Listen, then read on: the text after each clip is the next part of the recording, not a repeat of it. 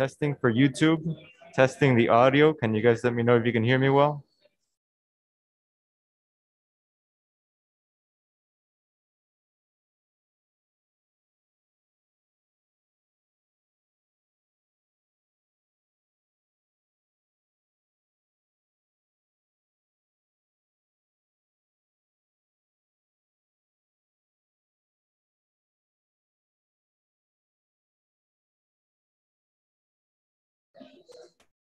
Testing for YouTube, YouTube audio. Can you guys let me know if you can hear me?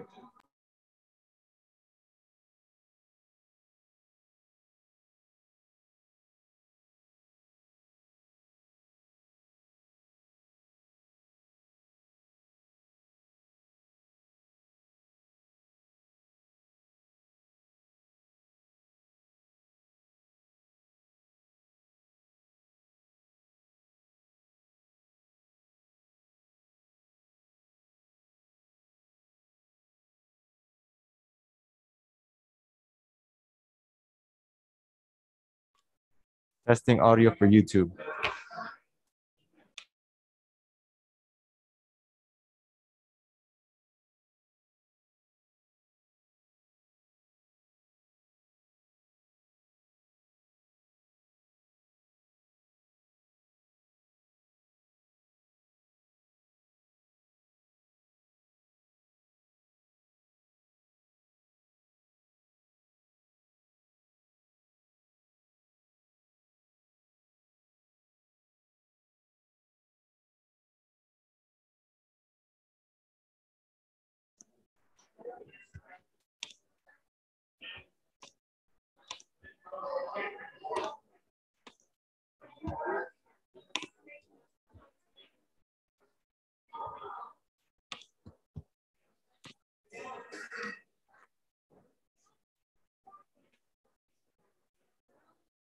All right, everyone, welcome.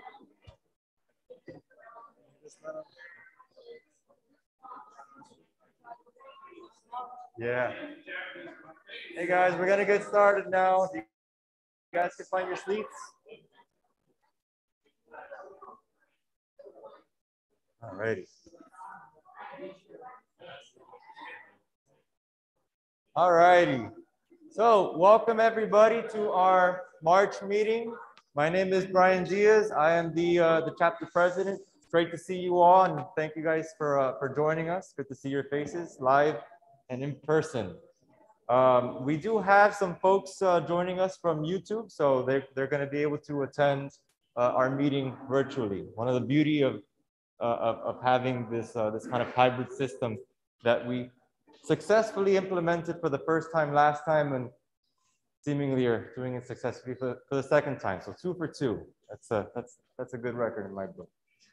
Uh, so before we get started with our presentation, we do have some, uh, some announcements.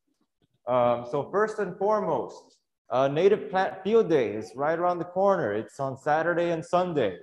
Uh, if you haven't signed up for a field trip, I highly recommend that you do. Uh, we have 14 different field trips in total to different places in the county and a couple of field trips in the Keys. Um, and we are now allowing for sign up to two field trips if you want to check out two, two spots, uh, since we still have plenty of, uh, of openings uh, left for them. Um, we are, we are uh, deactivating the registration link tomorrow. However, if you, if you still want to register after the fact, you can just send us an email directly to our, uh, our chapter email, which is dadefnps at gmail.com and we'll help you with the registration process. Um, next, on Wednesday, April 6th, we have uh, our deadline for the chapter board nominations. Uh, you can also send nominations to the chapter, uh, the chapter email. Uh, open positions are president, vice president, and three directors at large positions, two of them for two-year terms and one of them for a one-year term. Next, on Saturday, April 9th, we have a chapter workday at Everglades National Park, which will run from 9 a.m. to noon. It's a great opportunity to, to, uh, to help out with a restoration project that the chapter's been working on uh, in Everglades National Park for a long time now. Uh, it's going to be in the uh, Ernest F. Coe Visitor Center. Uh, if you're a new volunteer, please contact Patty Phares at fairspl at gmail.com. There's just some preliminary paperwork to sign before you can volunteer. Uh, next, on Saturday, April 16th, we have our next uh, chapter field trip to uh, Austin Hammock Trail in Everglades National Park, which will be led by Lydia Cuni, who is, um, who is our chapter secretary, as well as working as a biologist for, uh, for Fairchild's Tropical Botanic Garden. Uh, it, it is going to be a holiday weekend, so there's Passover and Easter happening that weekend. So there will be free admission to the park, a perk of, of, uh, of going to that field trip. Um, on Tuesday, April 26th, we'll have our April monthly program. Uh, and the title of that program will be Conservation of the Miami Blue Butterfly in, in Florida, and it will be delivered by Sarah Steele Cabrera from the University of Florida. Uh, Currently, the plan is to have it just like this, a hybrid meeting where we can have an in-person segment and, uh, and a, a, a, virtual segment, although we're constantly keeping watch with COVID. So, uh, so we'll, we'll send out any correspondences if that, if that changes. Um, and then lastly, we have from May 20th to the 22nd, we have the 41st annual conference, uh, Florida Native Plant Society annual conference, uh, which will be held virtually. Uh, registration is now open. Um, if you're interested in attending that, it's a great way to network and uh, with other uh, botanists or people who just love native plants. Um, and there's always a lot of really good informative talks in, uh, in, in the conference. Um, I do have a few, uh, a few members, a few new members uh, that I would like to, uh, to welcome to the, to the chapter. so welcome Tammy Flood and Caitlin Flood Rice, Nam Imbesi, uh, Ian McNamara and Avra Ackerman, uh, Mixed Greens Incorporated, which uh, have joined on the business level, and Scott Sutherland. Uh, and we have one person who's joined from Key Largo. Welcome to Laura Wells. Uh, if, you're, if you're joining us and you're not a member, I highly encourage you to do so. Your, your, uh, your participation um, really helps us continue with our, with our mission of preserving, conserving, and restoring our native plants and native plant ecosystem. Yeah, Susan. For those of you that are guests, we have a sign up sheet over here. You can sign up in the name. Sign up on the sheet. Next issue of monthly newsletter and also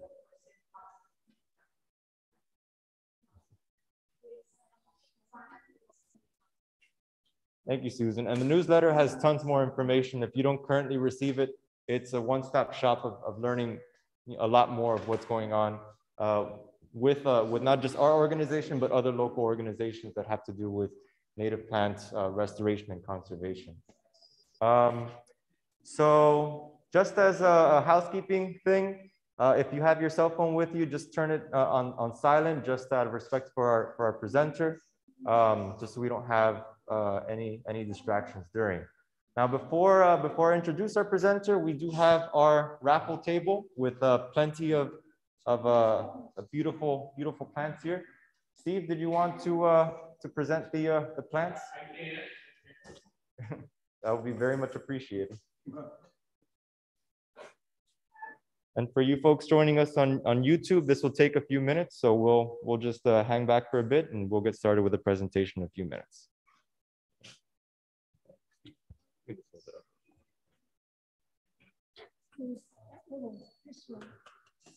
It's uh, Phyllanthus pentaphyllus. I'll write it down.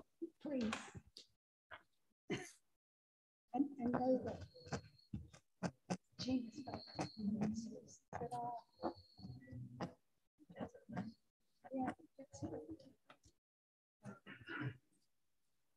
and it's it's five petals. Yeah, it's five petals, something right there. All right, welcome back. It's our second meeting since the uh, the event. Uh, we got some nice selections uh, this this month as well. Some stuff that doesn't always come in. Um, I'll begin uh, on this end. We have a nice small uh, little ensemble. It's a typical native plant collection of more than one species in a pot. So we have uh, the, the tall woody thing is a cocoa plum, Chrysobalanus icaco. And this is a native, and it actually has edible fruits, and the seeds can also be roasted and eaten. It's found in swamps and marshes, and also in coastal areas. Uh, this is a, a shrub, but it can be grown as a small tree. It's really wider than tall. We have a lot of selection of scorpion tail, Heliotropium angiospermum, and this has white flowers that the inflorescence or bloom spike curves into a tail that looks like a scorpion's tail, hence the name. Scorpion tail and members of the Boraginaceae in general are really good for attracting pollinators, especially small butterflies. Um, this also has the added bonus for those of us that have our yards overplanted, this will grow in shade. So this, yes, and it will spread in your yard a bit. But everyone always asks me, that's one of my top three questions, what will grow in shade? Well, that's one of the natives that will. Another tree or shrub that'll grow in shade is the bitter bush. And that's this here. The leaves are green, but they'll also be dappled with red, especially in low light conditions. This is a small tree, uh, and it's dioecious, which means there's male and females. And they'll have these pendant flowers that hang downward in a spray. And the females, the, the fruits will develop and they're red. So they're very attractive. Uh, this will also grow very well in shade. And like the scorpion tail, this will also spread uh, quite a bit, only if you have a girl. Yeah. Um, we have a nice, I'll come back to, to this pine rockland stuff in a minute. Um, another hammock tree like that Picramnia uh, is crabwood, which is this one here, very drought tolerant, grows in hammocks in Dade County in the Keys. Um, it's a, a nice tree that's an evergreen and it can also be used as a screen. Um, we have some plants here that need love. Um, someone brought in some firebush, which Hamelia patens. And this is a wonderful tree to attract hummingbirds. It has red tubular flowers.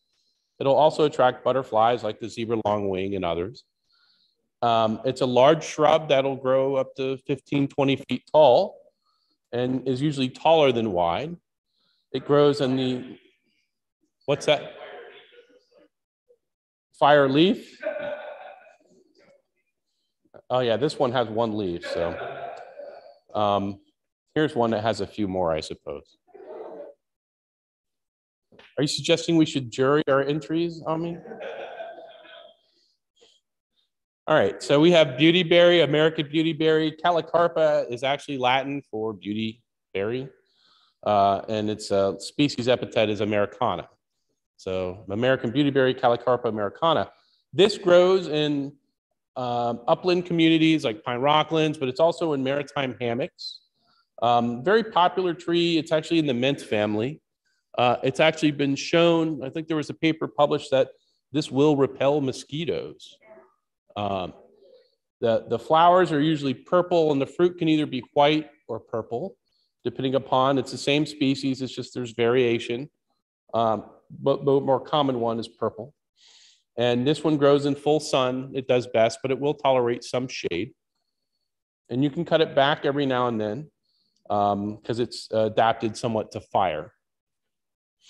So we have some other, goodness gracious, a big pot of lots of little seedlings of Jamaican dogwood, which uh, is not as fun as it used to be. Its name changed from Capparis cynophallophora to Quadrella jamaicensis. And Cynophallophora is Latin for bearing a dog's penis.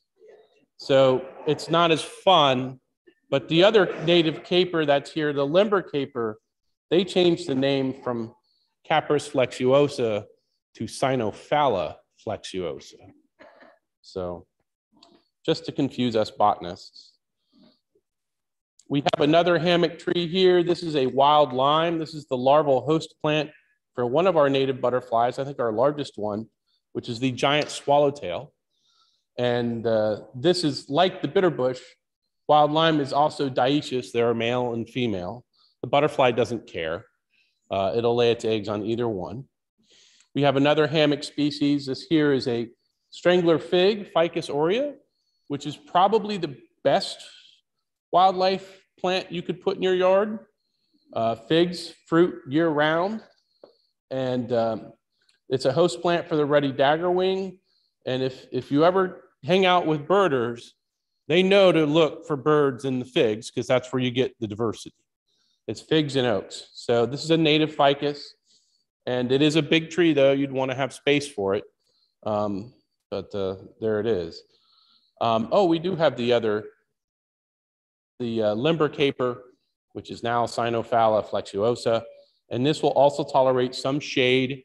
It's also somewhat salt tolerant. It'll grow in coastal areas. So will the other caper. We have another hammock species, which is this one here is a Florida Keys black bead. And uh, this is a beautiful when it blooms. The blooms only last a couple days and they're quite fragrant. But when it blooms, it has these big uh, fireworks displays of flowers. And there, there's a pink one and a white one, or kind of a creamy yellow one. They're both the same species and they will get full of pollinators when they bloom. The whole tree will be pink. Um, okay, let's look at some of the, uh, here's another coastal plant here, which is the Florida necklace pod, Sophora tomentosa variety truncata. This has a spray of yellow tubular flowers, which are visited by hummingbirds, such as the ruby throated hummingbird. And this is a small tree or a large shrub that can get about eight to 10 feet tall in your yard. There's another doppelganger of this that has really, really fuzzy leaves which is considered to be not native, depending upon who you talk to. And that's variety occidentalis, which is native to Texas and other parts of the Caribbean as in, in, in the Caribbean. All right, I'm gonna come back over here because we got a special little selection here of some pine rockland plants. We have these beautiful little pinklets, which is a member of the acanthaceae. It's a lovely little wildflower and it grows in full sun. We have a, a host plant, the Bahama senna or Bahama cassia, and that's a host plant for at least three different sulfur butterflies, including the uh, really common cloudless sulfur, but also the orange barred sulfur, and I think the sleepy orange. And then we have a, a little mixture pot here. We have our native wild basil, which is a state endangered herb. And then next to it, we have Chapman's goldenrod, uh, which both of them are found in pinelands and uh, wonderful additions to your yard. The wild basil is as fragrant as basil, but it doesn't have the same culinary aptitude as its cousin. Um, a few plants I walk by also, we have a must for every yard is corky stem passion vine. This is a host plant to our state butterfly I mentioned earlier, the zebra longwing, which likes that fire bush, but it's also a host plant to the Julia longwing and the Gulf fritillary. And we also have next to it a kind of a, a vining herb or, or can get almost shrub-like as far as the size of it. This is Carolina aster or climbing aster, Symphyotrichum carolinianum. We have our state wildflower here, Coreopsis leavenworthii, also known as tick seed, and that's an annual, has a real pretty yellow flower with a brown center. Uh, and you may want to collect the seed when it's done fruiting because the plant's going to die. It's an annual. We have, again, one of my lawn weed favorites is the, the native common violet uh, here, which is a host plant for the Gulf fritillary and provides lovely flowers in the winter. Uh, we have a, another wildflower that we're a little bit south of its range here. This is uh, brown-eyed Susan, Rudbeckia hirta. The leaves are very rough or scabrous is the 10 cent word for that. And this is a wildflower you find in short hydroperiod wetlands and pine flatwoods. And then we also have another pine rockland species, another species of aster, uh, which is now in the genus Symphyotrichum. This is clasping aster, real pretty pine rockland species, but it also grows up north in sandhill and scrub communities.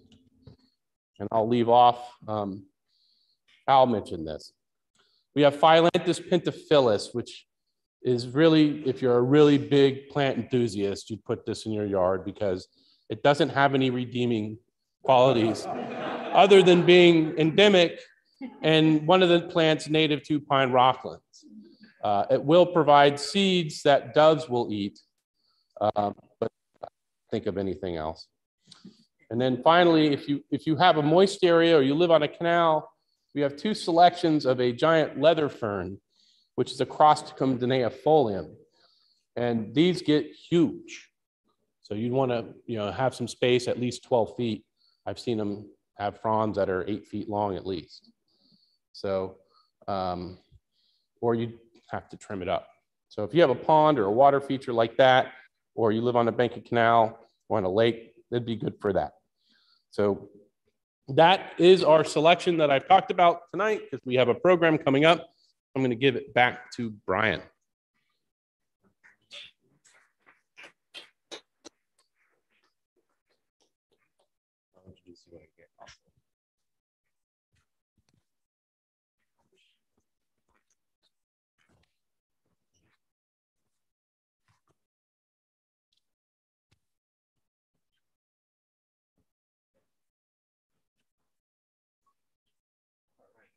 So our presenter today is Dalton Goolsby.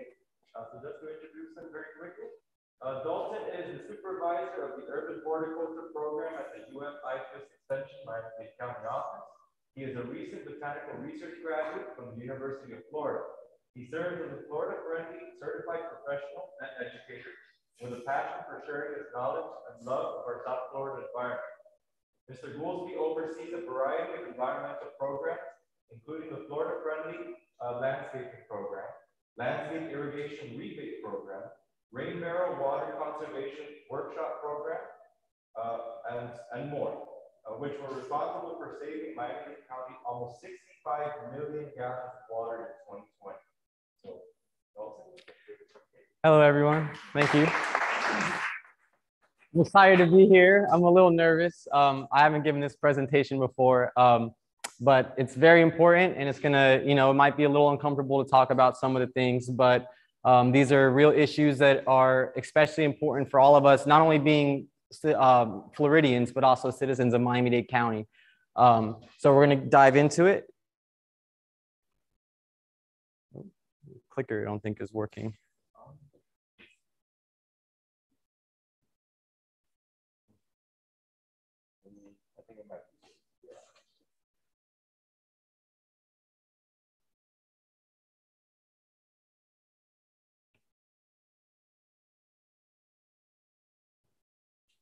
Frozen? Oh no.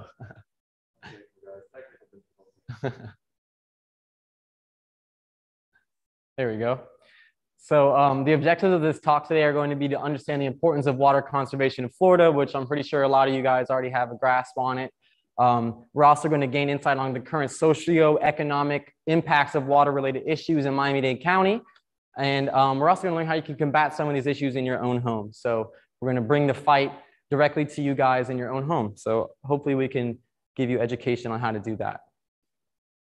You want me to just tell you when to go on or? I think it just might be lag. Oh, really? It changes. Yeah. Oh,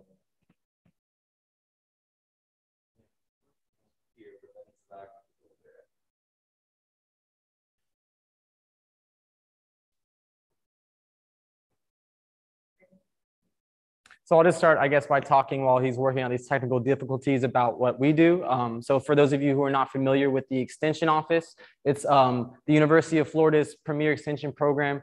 Um, basically, what we do, since UF, University of Florida is such a big research school, they lead the uh, nation in uh, research, or one of the leading uh, research universities, I should say. Um, but basically, extension is our job to take the new research coming out, being released by the University of Florida, and literally extend it to the community. So that's my job. Um, I work with the urban horticulture. Um, some of you may be familiar with my coworker, Barbara McAdams. She's also a member of the Florida Native Plant Society Dade chapter. Um, so I, I, work with her doing um, pollinator conservation, South Florida plant, native plant things, um, you know, rain water conservation, all these kinds of cool programs that we have. We'll talk about all those. But basically, so why is water conservation so important in Miami-Dade County? Well, it's because water is life, simply put. Um, I like to include this little photo when I do, I mean, talks about water conservation because it just shows you that water is really all around us, right? I mean, it's above our head, it's right beneath our feet. It's that way, that way, that way, that way. So I like to, I like to just um, show this graphic because it shows you, um, you know, not only is it all around us, but it also gives us life. I mean, you can't go obviously without drinking water for more than a couple days. And um, we also have a great, um, you know, economic boost from our water resources like tourism. People come to Miami for our beaches. We have a international port, you know, people going on cruises and things like that. And I mean, who doesn't want to come to Florida if you don't go see a beach? So it's up to us to not only protect these things for our benefit, but also for the animals' benefit. You know, it gives us a source of food. Um, and there's all kinds of really cool intercoastal communities and all kinds of things that it's our duty and our responsibility to protect. So we're going to talk about how we can do that today. And we're going to look at these big picture issues. And these are things like um, climate change, right? And this is caused by, ever since the turn of the Industrial Revolution, um, more and more carbon is being emitted into our atmosphere. It's getting trapped in our atmosphere and it's causing a heating effect um, known as um, global warming. Whether or not you're a naysayer behind global warming, uh, and climate change leads to issues such as sea level rise, which is things we're seeing um, in Miami-Dade County every year, around the world, really. And um, it's because of issues like with this uh, Thwaites Glacier right here. This is a link to an article from the National Geographic. It's talking about um, the Thwaites Glacier is basically under risk of erosion from above and below, not only the warming waters, but also warming airs on top. So it's basically double trouble for the Thwaites Glacier. And um, this is one of the biggest um, water holding glaciers in the world. And also, if Antarctica alone holds enough ice, uh, stored water and ice to raise the sea level by 200 feet if we're all to go. So, um, just a little warning sign there. Also, why is this so important to us? Well, we obviously have a very low lying topography. Um, we're right on the sea level basically, and the groundwater table is basically right at our feet in a lot of places around Miami-Dade County. So, um, we have a, a big duty to protect these water resources. Hold on for a second. Awesome. So we're going to first dive into climate change. And um, we see these issues in things like melting uh, glaciers, obviously causing sea level rise, which we already talked about, shifts in weather. So as um, climate change becomes more and more drastic, we're going to see more and more drastic shifts in weather, more frequent and intense heat, um, more waves, more droughts, things like that. And these things are not only going to be more frequent, but they're also going to be more severe. Um, and also warming oceans causes a host of issues like um, harmful algal blooms, red tide, fish kills, and much more. Um, this picture here is a picture from the uh, uh, polar extremes on PBS, and this is just an infographic that shows the um, the ocean-driven uh, reduction of our ice table here, and I believe that's in Antarctica. So these things are drastically dropping back um, at you know greater and greater rates as uh, climate issues ramp up. And I think it might be frozen. Oh, there we go. And one of the biggest issues behind this that's driving this is our dependency on energy, right? Um, and it's not just driving around in the cars, it's really just capitalism in general. Um, you know, I, I, like I have a article here about um, you know SUVs erasing progress from electric cars. I drive an electric car. I have a Nissan Leaf. It's zero emissions. Um, but also, it's not just um, driving cars. It's it's it's driving our economy. You know, you have to you get to process, you get to get materials from the earth that requires a lot of raw materials.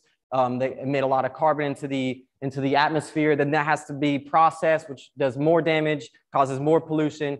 These um, materials then are made into you know phones or food or whatever it may be, packaging, and then these things are shipped across the world in certain cases. So even more transport and more gasoline, more fossil fuels being burned.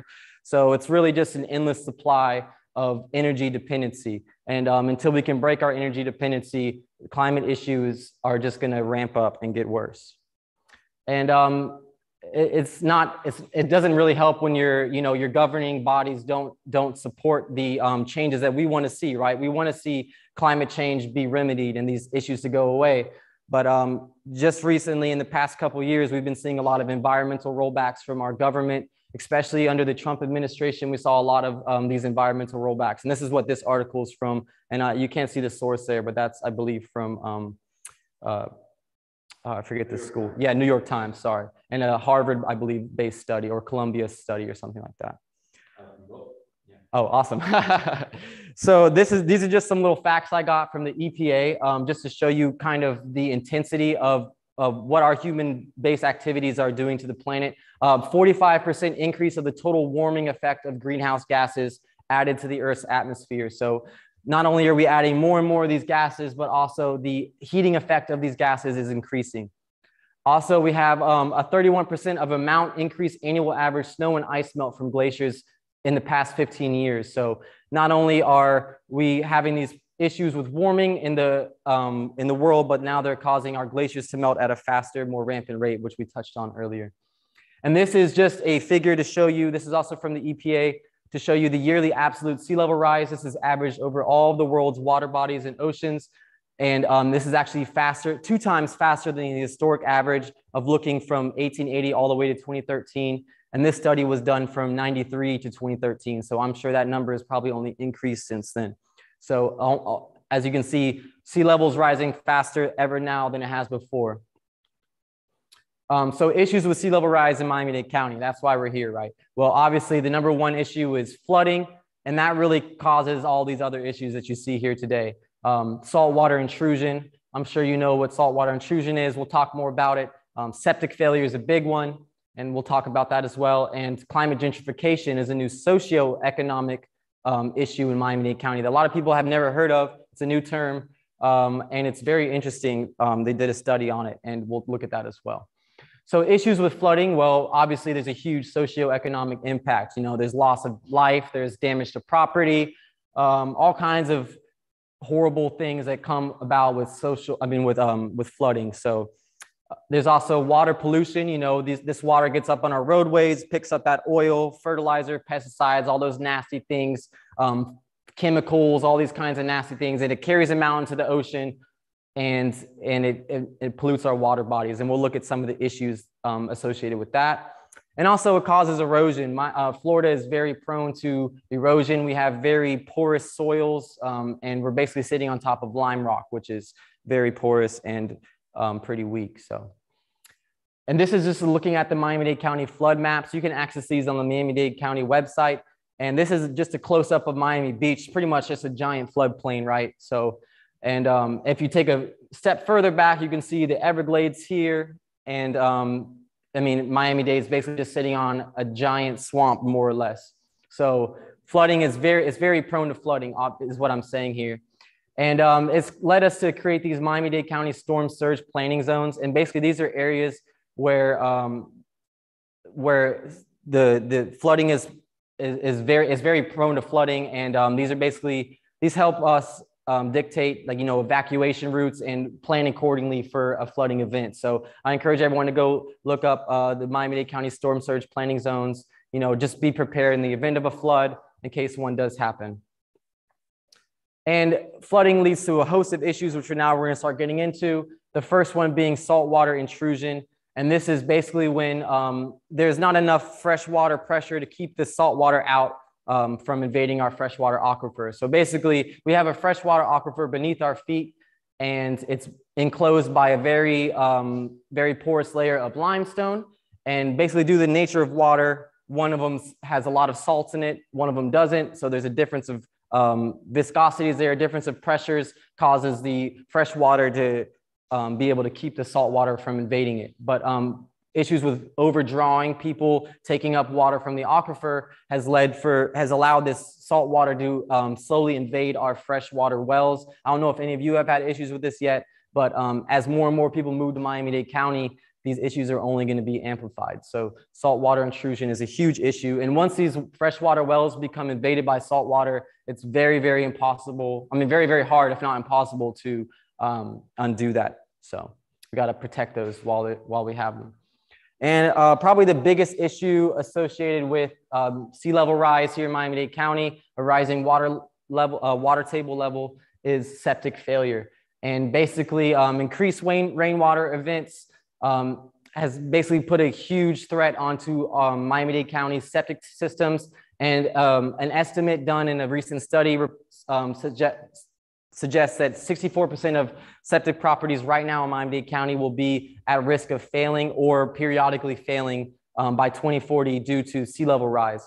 So what does it mean when a septic tank is failing? Well, essentially a septic tank is an underground concrete box that is meant to cycle, I mean, filter out wastewater um, down into the soil below. And the idea is for the soil to be unsaturated, which means it's not coming into contact with the groundwater.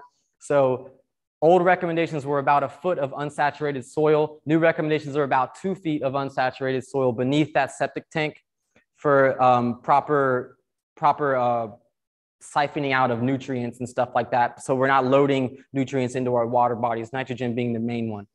Um, so as sea level rises, we see now where we have all this unsaturated soil beneath these septic tanks, um, sea level rises. Some of these septic tanks are sitting in submerged water, which is a failed system. Basically, there's no it's pumping wastewater directly into our into our groundwater at that point. We also have a compromised system, which is there's not enough unsaturated soil beneath these septic tanks for proper nutrient um, loss before it gets into our, our groundwater. And then um, as you can see, the, the varying levels of elevation affect which septic tanks are at risk and which ones are not. Where I'm from in Central Florida, you know, you can drill down 30 feet in certain cases before you reach the groundwater. But here in Miami-Dade County, it becomes a bigger issue. So um, it's a huge, a huge problem if we're going to have 64% of properties, septic properties at risk. And guess what? They're still installing septic tanks all over Miami-Dade County. There's no real incentive to hook them up with the sewer line, or in some cases, there's not even an option to hook them up with the sewer line. Um, so this is a problem that Miami-Dade County is going to have to face. They've been very transparent about how expensive it's going to be. Estimates put it at about $3.3 billion to convert these systems over to um, sewer, and it's going to be expensive. They have gotten um, some grants, and they're working on getting more to help cover the costs in you know lower income areas like Little Haiti and stuff like that. We've seen issues with um, with septic tanks failing and stuff like that. It's very prone to flooding.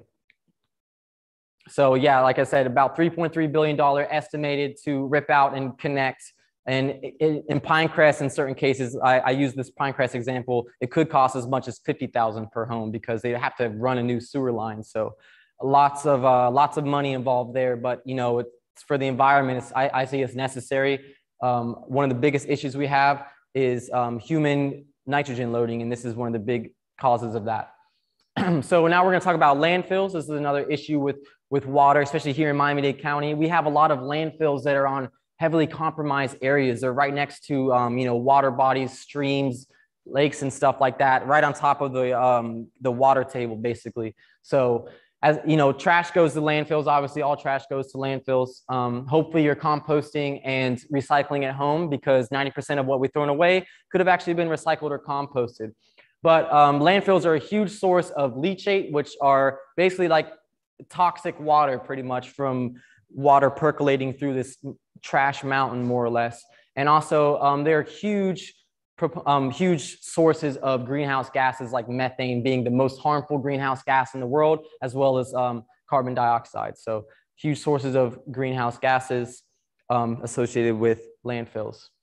So I always like to do, I actually stole this from a, a, presentation I do for kids just to kind of put it in perspective. If we've got 2.2, I mean, 2.7 million people in Miami-Dade County as of 2019, the, the global average is um, one person uses about two kilograms of trash per day on average. So you multiply that by uh, 2.7 million people in Miami-Dade County, you get about 5.4 million kilograms per day in Miami-Dade County. Multiply that times 365 days in a year, we've got about one, almost 2 million grams, which is about 5 million pounds every year of trash in Miami-Dade County. And if we're keeping 90% of that out of the landfill, then we're doing a great service to our environment also, um, it, I, I, have another slide that I didn't include on here, but um, if you're if you're composting instead of throwing things away like your green table scraps, your yard clippings, if you're composting those things, they're able to break down in the presence of oxygen because you'll be turning your compost pile. And when you break down things in the presence of oxygen, methane gas is um, not produced at all. So actually, if you're composting, you're not making methane. Whereas if you're throwing these green scraps into our landfill, they break down without the presence of oxygen, which causes um, methane and carbon dioxide both to be produced. So it's chemically proven that it's dangerous to throw these kinds of things in the landfill. On top of um, you know, hazardous waste like TV screens and paints and oils and things like that. I mean, imagine, um, I mean, there's arsenic and lead in some of these electronics that we use, like computer monitors and things like that. You don't want that getting in our groundwater, right? It can be deadly. And um, all these things leaching into our groundwater is known as leachate. Leachate comes from a landfill. So that's what we're trying to prevent in the topic of water conservation. Um, another plague of standing water, as we all know, being residents of Florida, are mosquitoes. And here in South Florida, we have all kinds of nasty um, mosquito-borne diseases like uh, West Nile virus, encephalitis, all kinds of nasty things.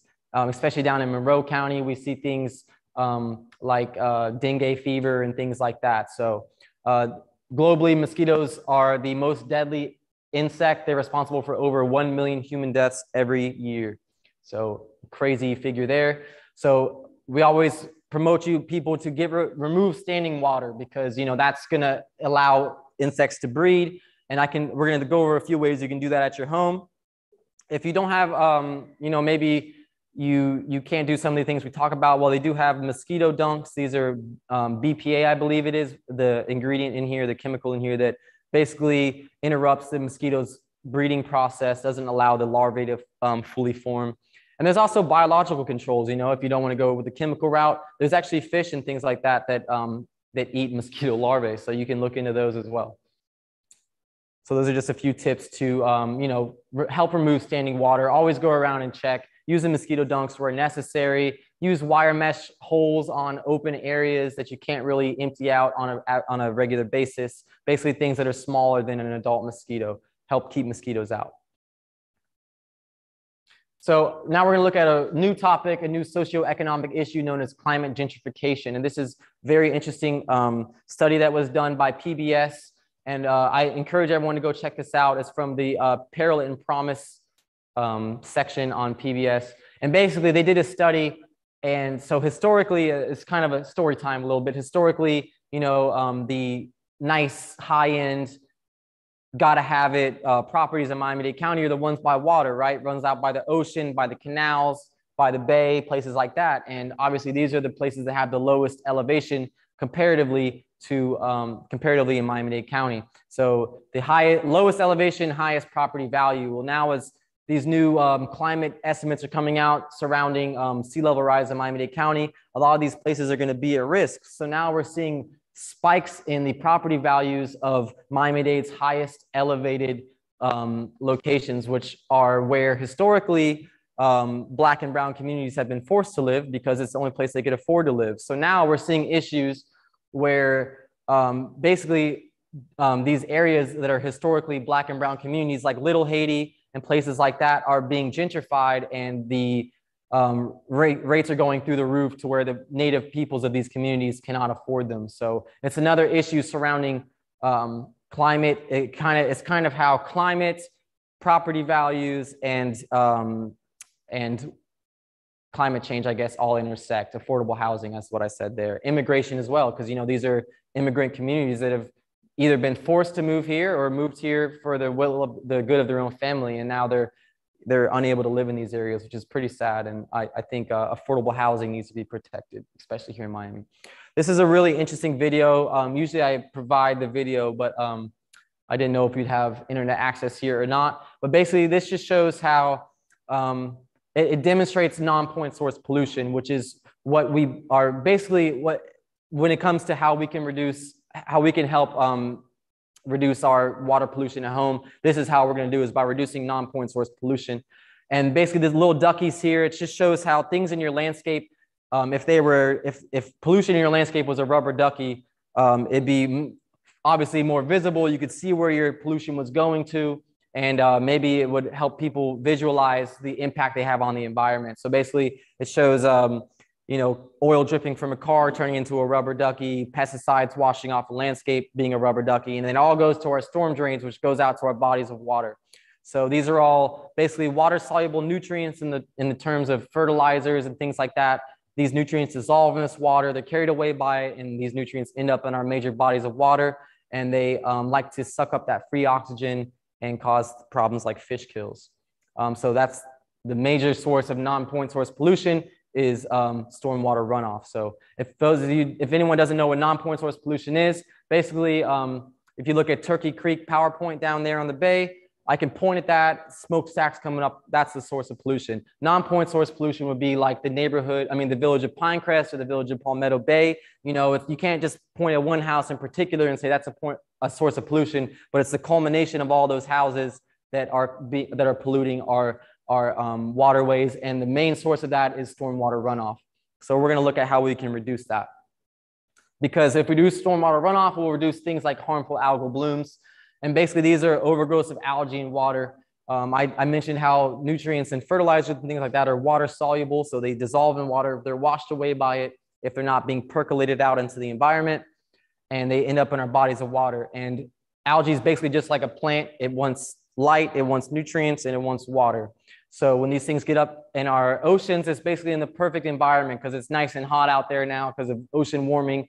And there's plenty of nutrients out there in our Biscayne Bay because it's just being funneled from places like um, these local areas and homeowners associations and things like that, fertilizing their grass lawns, which is really, really sad. When they could have some beautiful native plants like what you guys have instead of that grass lawn, right? So um, these al algal blooms, they basically, the harmful algal blooms, they release toxins when they bloom, which kill the fish and um, hurt the local environments and also the local economies. But also algal blooms don't have to be a harmful algal bloom to, to do damage. Like just a normal algal bloom um, can, you know, shade out the seagrass. So seagrass can't grow. So actually, I just read an um, article just recently, um, sea cows, AKA manatees, um, witnessed a record breaking number of deaths in Florida last year from starvation. Um, 70% increase, I believe, was the number in manatee deaths from last year because they can't eat. They have no food. That the algae is shading out their food, and seagrass can't grow and they can't eat, and it's just really sad. So I always like to put that in perspective, even though it's sad. But everyone wants to save the manatees, hopefully, right? So um, also another study I just uh, read up on was a study actually released by the University of Florida that says that these stormwater retention ponds that Florida is so crazy about building actually emit more carbon than they store. So we're building these things all over the place to capture this um, rainwater and let it, you know, siphon out into the environment. But actually, these things are um, increasing the amount of carbon in our atmosphere. So um, the Florida Friendly Landscaping Program is uh, something I help oversee here in South Florida. And uh, I like to call this my contractually obligated statement. It's the state of Florida's premier extension program promoting sustainable alternatives to conventional landscaping by providing guidance on low impact, environmentally friendly, science-based practices using less water and reducing pollutant loads into our water bodies. So basically it's all around reducing non-point source pollution. And it's founded on these nine principles and we're gonna quickly touch on them. But the number one principle is, I think, the cornerstone of our program. And this is something you guys should know all about being Florida Native Plant Society is uh, right plant, right place, right? Um, you have to consider things like mature size, watering needs, and site conditions. I'm not going to go plant, you know, uh, drought tolerant plants in the same watering zone as I have my grass because your grass is always going to need way more water, way more nutrients, things like that to thrive. Um, so, you know, maintain planting beds. Don't plant things too close to the structure of your home if they're going to get huge because you're going to have to keep cutting the limbs back. Like I see people all the time, they have a live oak tree five feet from their house, right? And half of the tree's been methodically sawed off so it won't grow over the roof of the house. While you're continually opening up diseases on this tree, just like a cut on a human, you open up that disease, you want to put some neosporin and a band-aid on that, right? Well, trees don't really have neosporin or band-aids, so we can help reduce the amount of stress we're putting on them by considering their mature size. Watering efficiently, we'll talk all about that. Don't worry about that. Fertilizing appropriately, this one kind of goes hand in hand with another one, so I'll tie them in now, which is uh, managing yard pests responsibly. At um, UF IFAS, we have free diagnostic services. And actually, my background, what I graduated from the University of Florida in is plant diagnostics. So I, I have a background in turf diseases, um, fungal, bacterial, viral, as, and we also have a source of, I mean, a host of resources we can reach out to. If you ever have an insect or you think you have a deficiency, or, you know, some people think they have deficiencies or they think they have an insect and the whole time it's a fungal disease and they're dumping fertilizers on it, they're dumping pesticides, and this all ends up in, as runoff because they don't know what the real issue is. So send send send us your samples and we'd love to check them out. And honestly that's my favorite part of my job is to look under the microscope at the samples. Mulching helps you reduce the amount you water. So we recommend maintaining two feet of, i mean not two feet two inches of mulch sorry around um, plants you know not volcano mulching because that compromises the um, the dermis of the plant. Attracting wildlife obviously we got some amazing host plants over here. Um, so attracting wildlife get them into your home. They they help. Um, you know, they're basically I call them the Charles Darwins of the world, right? They they facilitate evolution and they give us food. I, I believe the figure is 90% of our diet of fats and oils comes from a plant pollinated by an insect. So or or a pollinator rather, not an insect per se. Uh, managing our pests responsibly, we talked about that. Recycling yard waste, we talked about that a little bit in the landfill section. You can do that by composting, and I'll just like to say this as well whenever I talk about composting you know, if whether you do your landscaping or you have someone come out and do it for you, you know, these crews, they come out, they cut, mow, they blow, they carry your yard waste away. Well, you're literally carrying nutrients away from your landscape that was harvested right there from your soil. So you're going to reduce the amount you have to fertilize and amend that soil if you're recycling your yard waste, something I like to call nutrient recycling.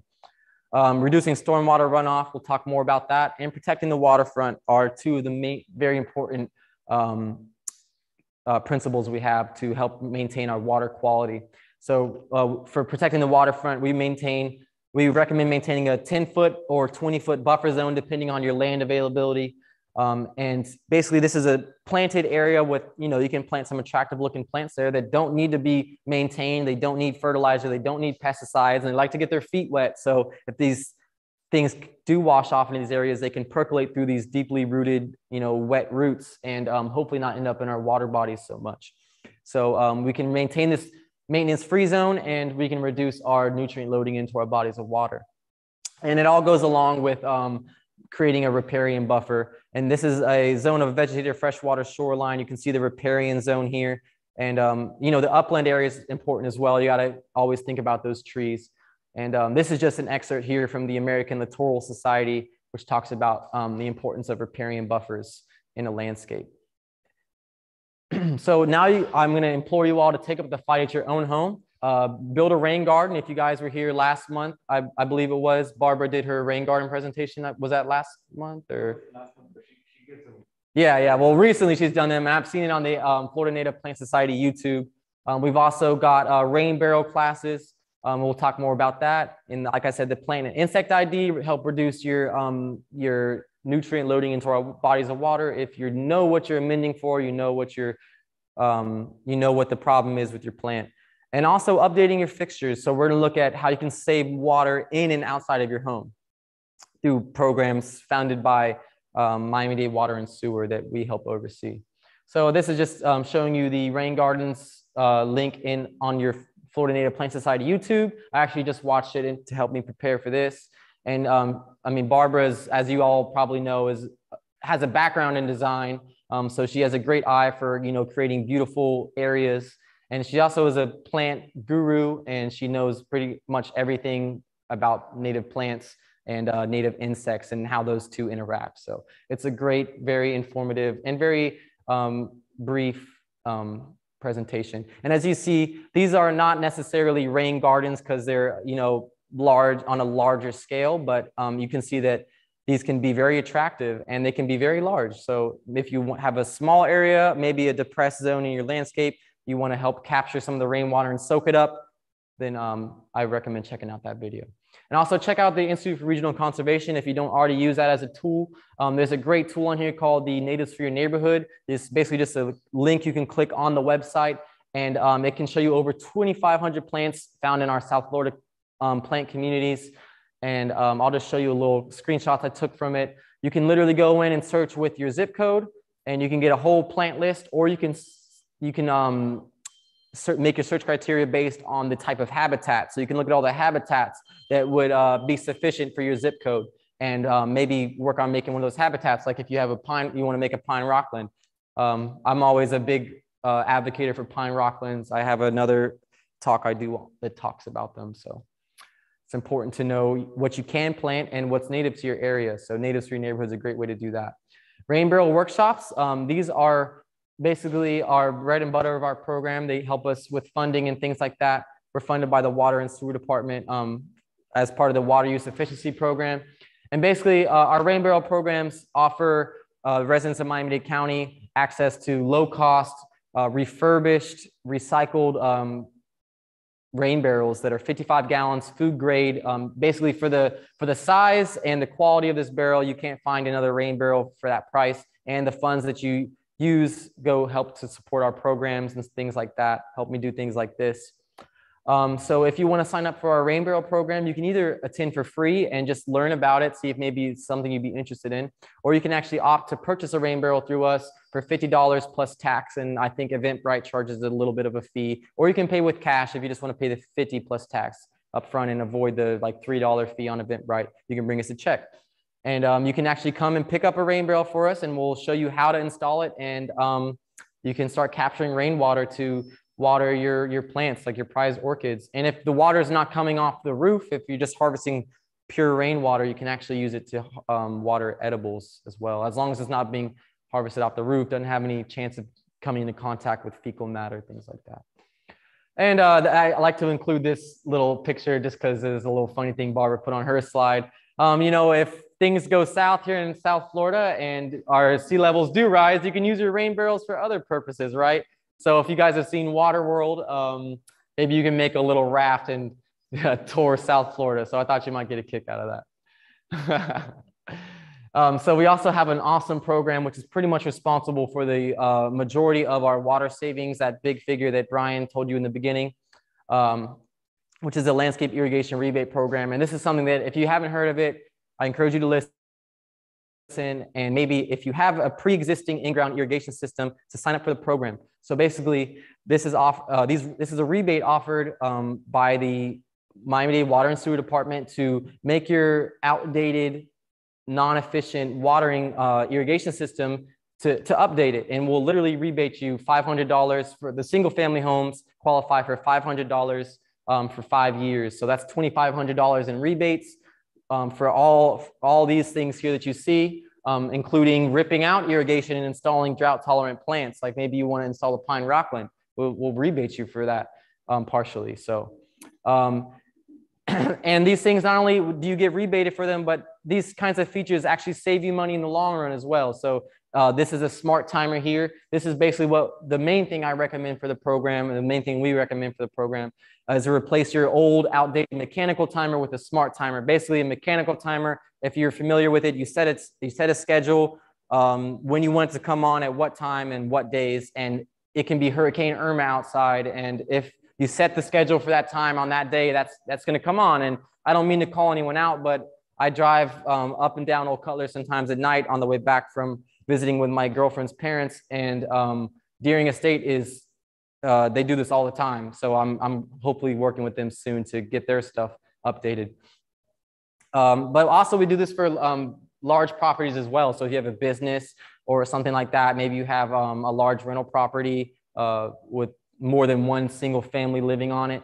Uh, we can qualify you for the large property program, which is a single year program, but you qualify for up to 2850 in rebate. So instead of 2500 over five years, it's 2850 for one year. So it's a great program, helps people save a bunch of water. And honestly, half of it's behind just setting up this smart timer and people water seven days a week on a grass lawn and honestly watering seven days a week on a grass lawn you're doing more damage than you're doing good the rebate form um, reach out to me I'll, I'll provide you with some resources at the end you can sh shoot me an email and it's as simple as um, i'll send you a, a, our new program application you can get signed up or maybe send it to someone who you know who has an it has to be pre-existing in-ground irrigation so we don't support new irrigation being implemented. We only support the retrofitting of existing irrigation. Um, and also, I, I, have to say, um, I'd be remiss if I didn't. Um, you, you, qualify for a, free pre and post inspection if you get into the program, which I mean, it, all you have to do is submit an application, like I said. And um, all, all to be, to be, um, to meet rebate basically we have to come out and do our pre-assessment before you make changes because we like to recommend changes that need to be done. So if you've already done changes, unfortunately, we wouldn't be able to rebate for that. But I mean, um, we can probably get you on the schedule pretty quick and you can be updating your system in a matter of weeks, hopefully. So this is all, um, these are all initiatives from the Miami-Dade Water Use Efficiency Program. You can look that up on Google and read all about Miami-Dade's um, water saving initiatives. We'll talk a bit about a few that we haven't already highlighted. And this is another one that um, the Miami-Dade Water and Sewer Department oversees, which is the uh, the fixture rebate program, I think is what it's called. And basically, this is Miami-Dade residents if they have a house built after I, I, I think it's 1996, I believe. I think that's on the next slide. Oh, 19, yeah, 1996 um, then they can qualify for actually um, update their fixtures with water efficient EPA sense certified, WaterSense certified fixtures. Um, and it's two, two, uh, two rebates per category. So you can get two toilets, $50 rebate per toilet, two shower heads, $25 rebate per shower head, two faucets, $25 rebate per faucet. So not only are you getting rebated for a majority of the cost of the item, but in the case of the toilet, uh, one water efficient toilet can save you over $4,000 over the course of its lifetime. So I don't see a reason why you shouldn't do that. And also, I believe that number may be even higher if you're a senior. So senior, there's a senior toilet, water efficient toilet uh, rebate program. And I think the figure is either 100 or $200 rebate per toilet. What's, uh, yeah, probably, unfortunately, yes. yeah, use it as a flower pot. I saw one on the side of the road on the way here. um, so Miami-Dade, um, so just to look at some more initiatives in Miami-Dade County, uh, the Rockefeller Foundation has something called the Resilient Cities Network, formerly known as the um, uh, the 100 Cities or some 100 Resilient Cities Network or something like that.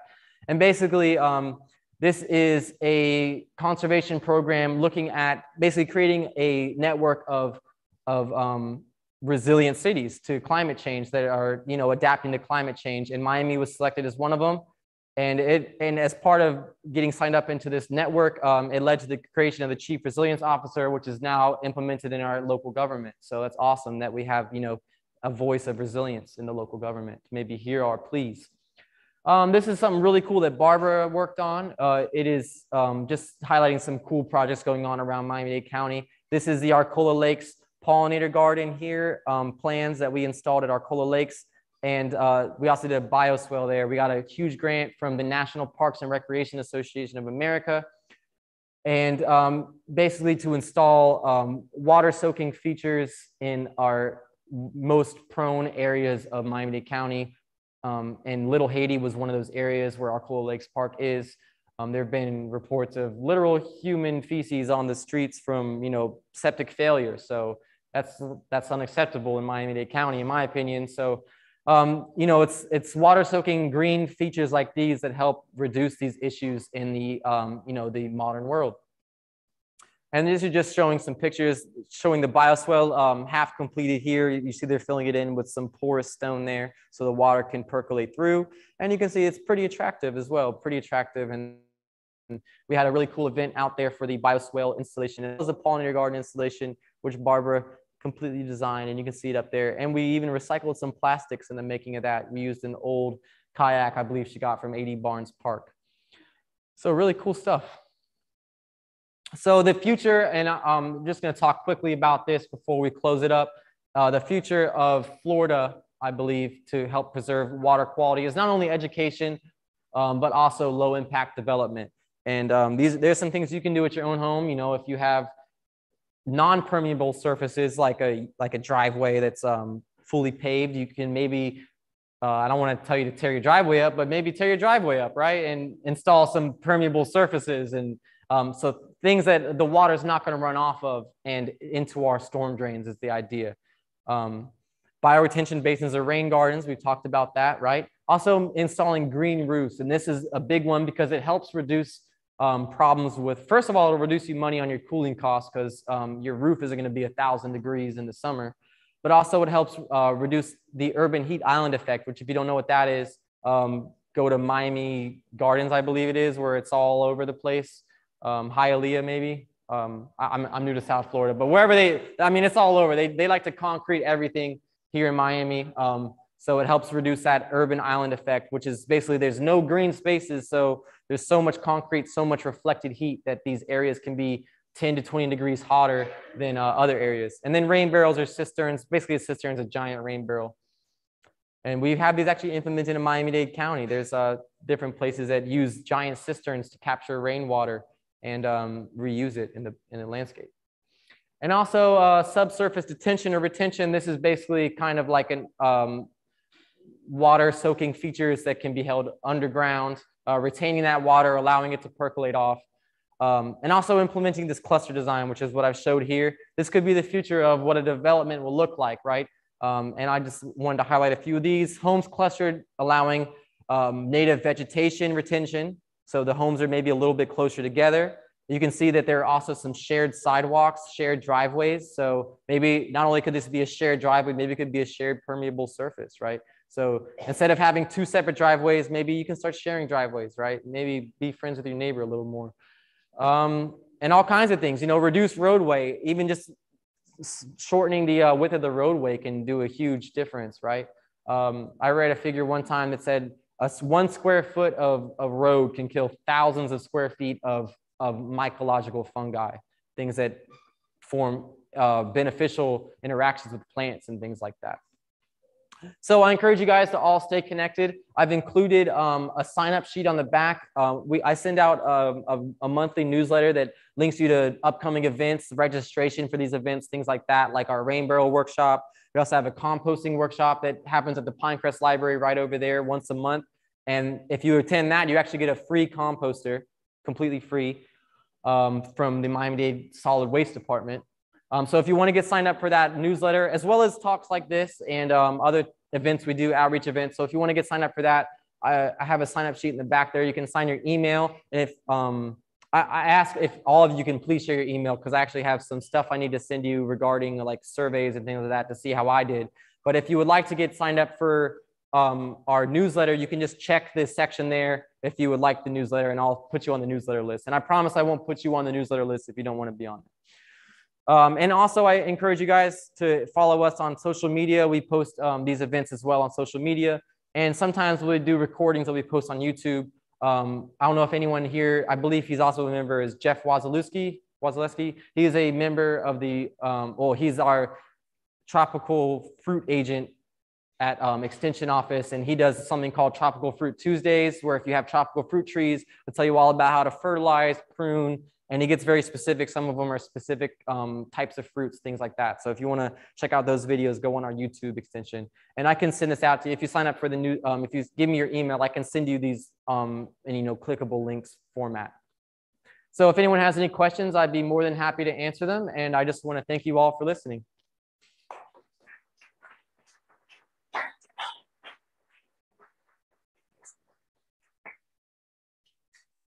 Okay.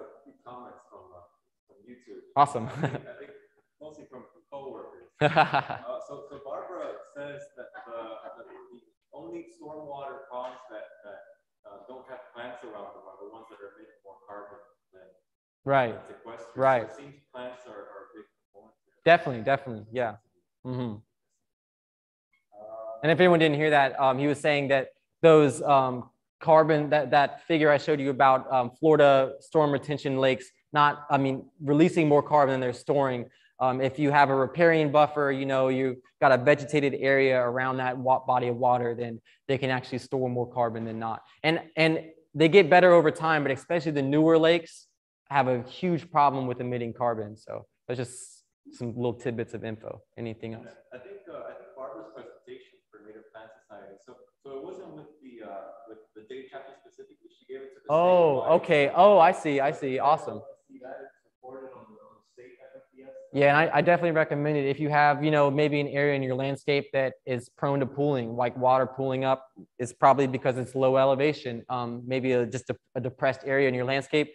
Um, not only will it help Barbara's monthly reporting numbers, but it'll also help you gain the knowledge to uh, implement one in your own landscape. And she also gives you some plant recommendations as well in there.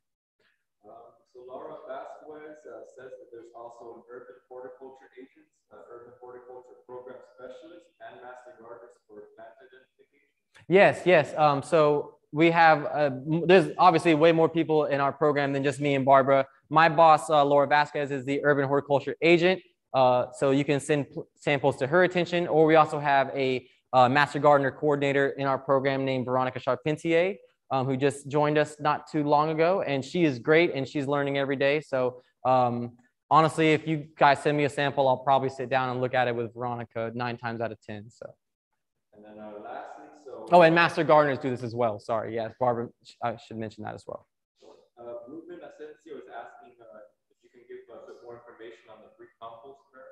So um, the free compost barrel, you sign up for it, I believe, on the Pinecrest website. You just go there, and then I think on the homepage, there's like a little scroll down events menu.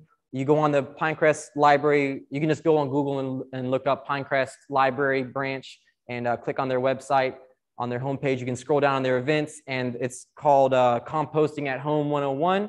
You click on that link, and I think you can either register from there, and if not, then you call or register. And all you have to do is attend the class, and you receive a voucher for composting bins.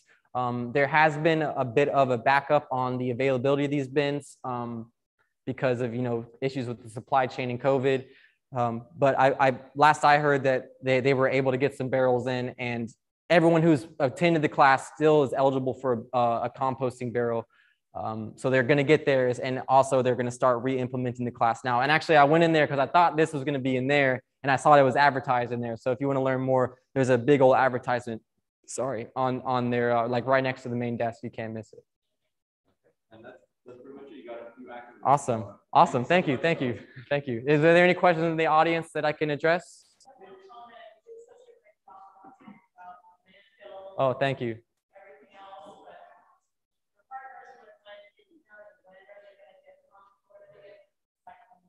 I know, and uh, yeah, right, right. I know, and it's sad. Mm-hmm. Mm, yes, and that's a huge one. Um, so if you didn't know, you, yeah, and if, if you don't know, you, you're not supposed to recycle plastic bags. They actually get stuck in the in the processing machines. And I actually have a whole presentation I do on proper. I, I call it compost it, recycle it, or trash it, and I end it with a game of uh, Jeopardy where we go through and look at different things, and then you decide: do I compost it, do I recycle it, do I trash it? And it's specific here to Miami-Dade County. So maybe um, if you guys want to have me back, or maybe one of my coworkers, I can show them the presentation. And I mean, it's, it's really informative. So, but also you can go online to the Miami-Dade County website, and um, they have guidelines to recycling, what to recycle, what not to recycle. And yeah, I mean, 90% of what we've thrown away could have been recycled or composted. So imagine if, you know, Mount Trashmore over there was 90% of the size it is today. It, uh, we'd have a, a lot less issues associated with it, that's for sure. Yeah, I've heard that they do burn trash um, and harvest it for energy. Um, I, I, I, should do some more research regarding that as it pertains to Miami-Dade County. Mm-hmm. Yeah. And the, I, I don't know how they, you know, filter the gas and things like that associated with it, but the only issues I could see associated with that is, you know, burning trash could be toxic. Um, I don't know if they, you know, filter that out, things like that, but.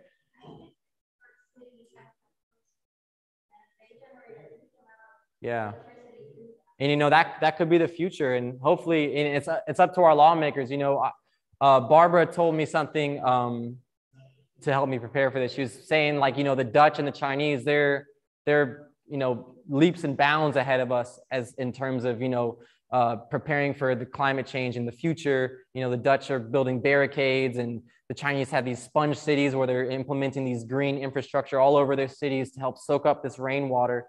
Um, so, you know, we're, we're honestly behind in Miami-Dade County. It's better than where I'm from. Where I'm from in, is Central Florida, uh, my, I mean, Marion County. Um, so, you know, our, I think our lawmakers have a little more precedence in this in these issues because you know they're so close to home here they're going to affect us way before they affect central florida so we do have a little bit of help but i still think the overall knowledge behind these issues is lacking yeah mm-hmm.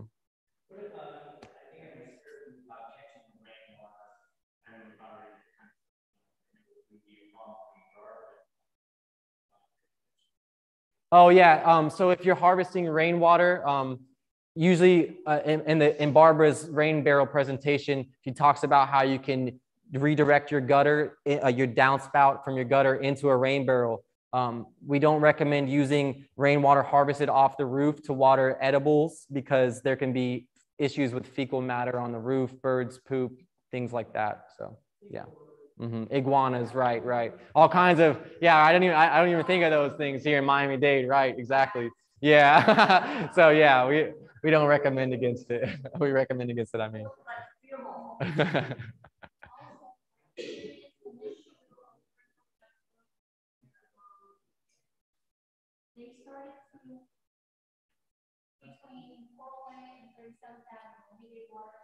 Hmm uh, drains. Yeah, the, the swales, right? Yes, in the, in the cul-de-sac. hmm Yeah, I saw that. Yeah. But fortunately, they broke our cul-de-sac Mm. and they replaced it with this English. Yeah, yeah. Um, unfortunately, you know, I don't really. Yeah, me either. The water quality came um, Sulfuric. no, no, not sulfur, it was- I mean, they did all the tests, everything was fine.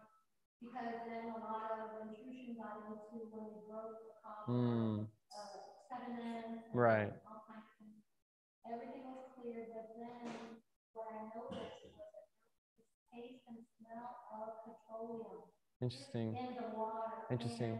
Come to find, well, I requested that, you know, they, I didn't want anything more or anything less. I wanted the cover to be replaced with copper. hmm And they came back and they did, they did Good, good. But my concern is that, you know,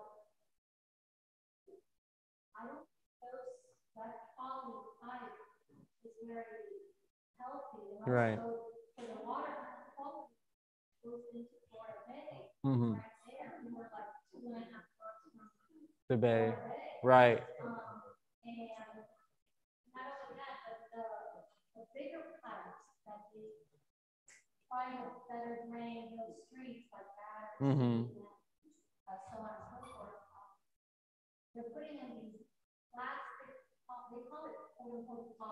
uh, hmm uh, pipes that, Yeah. That's crazy. And you know, I could I could do a whole presentation about the issues surrounding plastics. I mean, I think plastics are the next major like ecological issue that we're gonna have to tackle. Um, I recently did a beach cleanup actually last week with um, the the um, National Park Service down in Biscayne National Park. We went to uh, Doozy Beach and we cleaned up about 20 feet of shoreline and we picked up about 600 pounds of plastic and 20 feet of shoreline. Um, Miami-Dade County has an interesting uh, juxtaposition, you know, with the Gulf Stream. Uh, you know, the Gulf Stream is a global, uh, global stream of water, and here in Miami-Dade County, it actually gets closer to any landmass than it does anywhere else around the world, I believe. Um, and it's right up here in the Biscayne Bay. So actually, when we're picking up trash out there, I'm finding uh, Chinese food wrappers, you Russian medical cans, and all kinds of stuff. Uh, you know, we filled trash cans full of it. It's crazy. also the the pipe, you know, from their main to the homes, um, like two and a half feet or so, right? hmm And then where there's. So that plastic pipe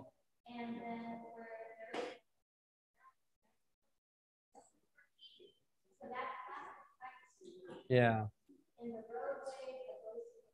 Mhm. And a lot of people don't know plastics are actually made, most plastics are actually made with ethanol. Um, so they are actually a product of producing plastic is, is gasoline. So um, And if these plastic poly pipes are comparable on price as copper, you know, who is making right. Yeah. Mm, sad.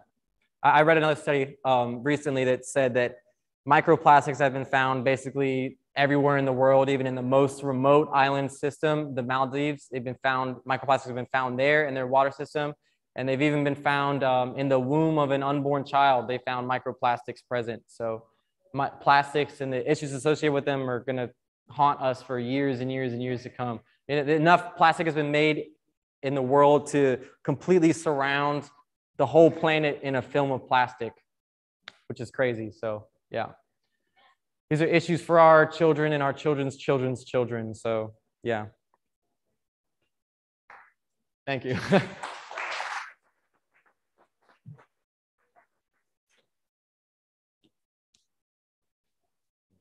no problem.